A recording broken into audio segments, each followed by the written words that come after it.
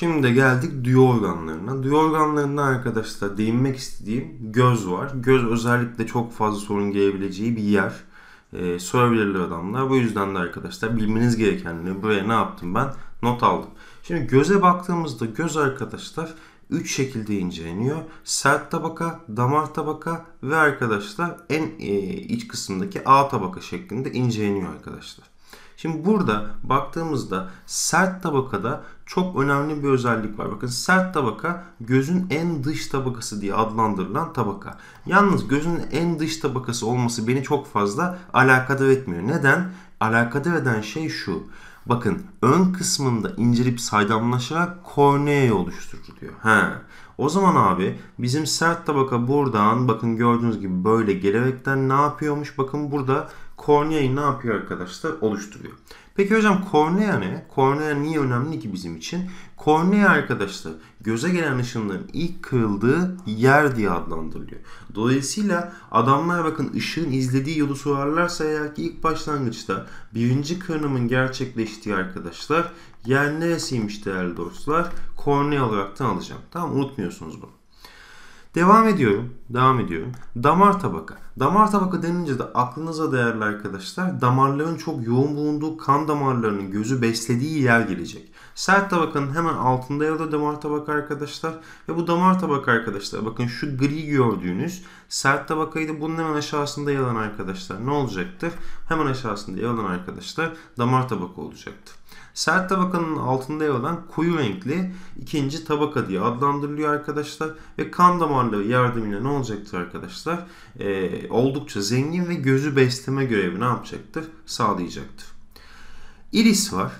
Iris de bizim ilkokullarda çok fazla arkadaşlar yaygındır. Mesela ben 5. sınıfta hatırlıyorum. Göz rengini veren kısım her zaman iris diye böyle çok fazla diretilirdi bize arkadaşlar. Evet iris kısmında gördüğünüz gibi bu kısımda arkadaşlar iris de göze rengini veren kısım diye adlandırılır. Orta kısmında ise arkadaşlar bunun ne olacaktır? Göz bebeği yer alacaktır. Pupil adını verdiğimiz arkadaşlar göz bebeği yer alacaktır orta kısmında. Mercek, ha korneadan sonra başka bir önemli yapı daha var. O da mercek arkadaşlar. Neden? Çünkü korneada birinci defa kırıldığı yerken arkadaşlar mercekte ise ikinci defa kırıldığı yer diye adlandırılıyor arkadaşlar. Irisin hemen arka kısmında yalan arkadaşlar bakın lens diye adlandırmış bunu. Ee, ikinci defa kırıldığı, ışığın ikinci defa kırıldığı yer diye adlandırılıyor. O zaman ikinci kırılımda nerede olacakmış? Burada olacakmış. Bir de odalar kısmımız var. Bu odalar da ikiye ayrılıyor. Ön oda ve arka oda şeklinde. Bunların sadece yerini birazcık daha hani bilirsek iyi olur bizim için. Saydam tabaka ile arkadaşlar göz merceği arasında değerli dostlar ön oda, mercek derisi arasında ise arka oda bulunuyor. Bunların dediğim gibi sadece aşina olun arkadaşlar neyin neyin arasında olduğuna o bizim için önemli arkadaşlar bilginiz olsun. Ön oda ve arka oda şeklinde. Camsı cisim gördüğünüz zaman aklınıza her zaman boşluk gelecek abi. Bak çok büyük bir boşluk. Şu boşluğun ortasında yer alan sarı renkli yer camsı cisim.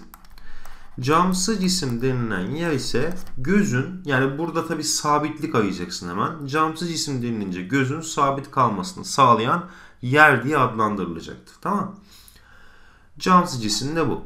Retinaya geldim şimdi. Retinanın diğer ismi arkadaşlar A tabaka diye de adlandırılır veyahut da retina diye de sorabilirler arkadaşlar. İkisini de bilin mutlaka. Gözde fotoreseptörlerin ve görme sinirlerinin bulunduğu kısımdır. Bakın burada retinayı göstermiş zaten vatandaş. Daha önce ÖSYM, YGS döneminde sordu arkadaşlar. Gözde bulunan fotoreseptörlerin bulunduğu yeri sordu. Cevap da retinaydı arkadaşlar. Bunu daha önce sorduğu için mutlaka biliyor olun bu kısmı. Işığın izlediği yola baktığımız zaman o zaman korneyle başlayacağım. Göz bebeğiyle devam edeceğim. Mercekle devam edeceğim. Camsız cisimden geçeceğim. Ve en son retina ile beraber bitireceğim. Ha bunun devamı yok mu? Var tabii ki. Retinanın devamı ise arkadaşlar ne olacak? Bakın optik nerve diyor. Optik sinirler anlamına gelen beyinle bağlantılı olan yer arkadaşlar bu.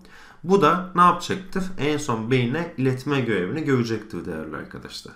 Kırınımlar sadece nerede gerçekleşiyormuş? Kırınımlar sadece arkadaşlar korneada ve mercekte gerçekleşecektir. Bunları da mutlaka bilelim. Biz fotoreseptörleri koni ve çubuk diye ayırıyoruz arkadaşlar. Koni ve çubuk. Nasıl peki kodlayacağım bunu? Çubuğu çıbık diye kodlayacaksınız arkadaşlar. Çıbık. Yani çok önemsiz, berbat filan bir şey diye kodlayacaksın. Çıbık. Yani tamam böyle çıbık ya bu filan şeklinde. Bu yüzden de siyah beyaz görmeyi ne yapacaktır? Sağlayacaktır. Az ışıkta görmeyi sağlayacaktır bu.